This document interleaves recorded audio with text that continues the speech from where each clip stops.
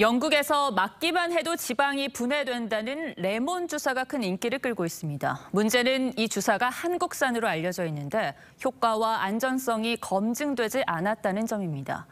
자칫 K뷰트로 이름난 한국 이미지만 훼손되지는 않을지 우려가 나옵니다. 최원영 기자입니다. 베이컨의 지방 부분에 노란 액체를 주사합니다. 10분이 지나자 지방이 녹아내려 흐물흐물해졌습니다. Oh my goodness, look at that. 특히 영국에서 신드롬을 낳고 있는 레몬 주사입니다. 배에 주사를 맞고 3주가 지나자 허리 둘레가 눈에 띄게 줄어든 영상도 인기입니다.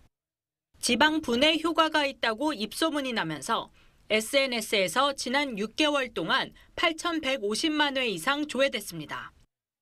영국 일간 가디언은 레몬 주사를 뜻하는 레몬 보틀 검색어가 올해 9월 지방 흡입수를 앞섰다고 보도했습니다.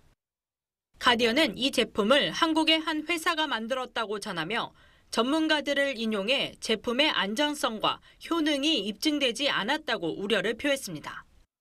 영국 내 이 주사를 맞고 멍이나 감염, 조직 괴사 등의 부작용이 잇따랐고 소비자 불만도 약 90건 접수된 걸로 알려졌습니다. 해당 회사의 홈페이지는 현재 사실상 접속이 불가능한 상태입니다.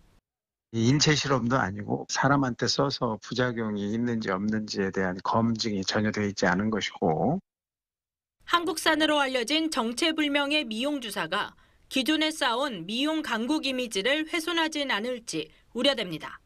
TV조선 최은행입니다.